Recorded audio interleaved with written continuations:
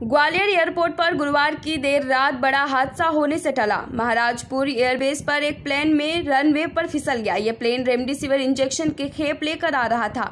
आपको बता दें कि इस घटना में दो पायलट सहित तीन लोग घायल हो गए। ग्वालियर ज़िले के पुलिस अधीक्षक अमित सांघी ने बताया कि हादसा ग्वालियर के महाराजपुर हाईवे अड्डे पर बृहस्पतिवार रात करीब साढ़े आठ बजे हुआ। उन्होंने कहा कि ये विमान उतरते वक्त रनवे से सौ फ़ीसदी प्लेसमेंट के साथ हम देंगे आपको मौका।